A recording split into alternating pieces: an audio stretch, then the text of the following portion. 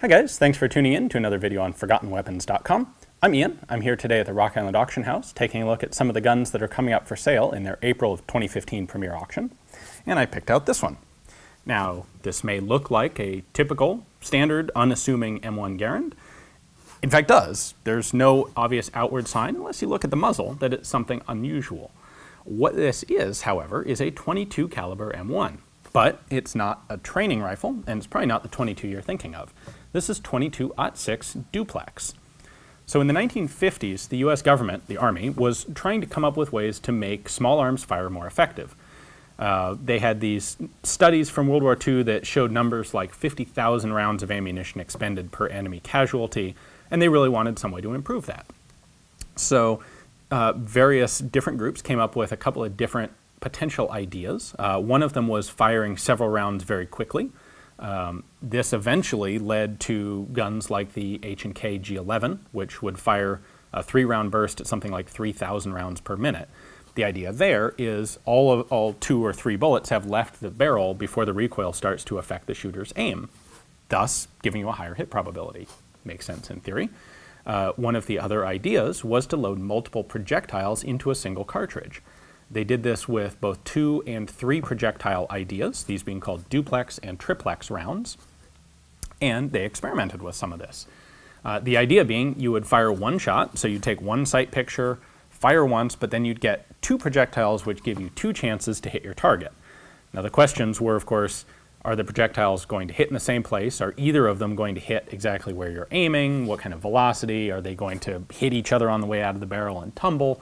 What exactly is going to happen. So through the 1950s, uh, late 1950s primarily, this was experimented on, and they were testing this through a project called Salvo, uh, Salvo 1 and Salvo 2. This is one of the rifles that was used in Project Salvo as an experiment. Um, this particular one, like I said, is 22-06 duplex. The barrel is marked as such. You can see at the muzzle that it's a 22 caliber bore. And they determined that the duplex rounds actually gave a significant improvement. Uh, duplex rounds were something like a 65% improvement in chance of hitting your target, which is pretty impressive, frankly. Um, ultimately, they ended up going in another direction, and ultimately the whole project finally failed. It went on for literally a couple of decades under different names and different titles. Involved a whole ton of different rifles being experimented with, different actions, different designs. Uh, burst guns, these multiplex cartridges, flechettes were also tested. And ultimately, none of it came out as being both cost effective and practically an improvement over standard one bullet, one cartridge, regular rifles. So that's what we still have today. But it's really cool to get a chance to take a look at a rifle like this that was an artifact of that testing where they were trying to find a better way to do things. So this rifle is for sale here at Rock Island if you'd like to add it to your own collection. Um, I don't know of anyone selling or manufacturing 22-06 duplex ammo, but you know, that, that'd be an interesting project if you are an experienced and liability safe handloader.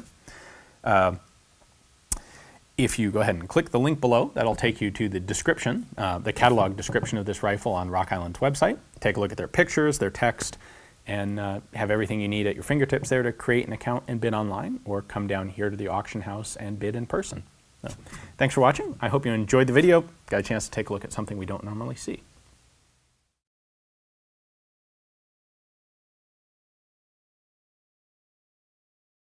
You're so drunk you can't hit nothing. In fact, you'll probably see in double. I got two bullets, one for both of you.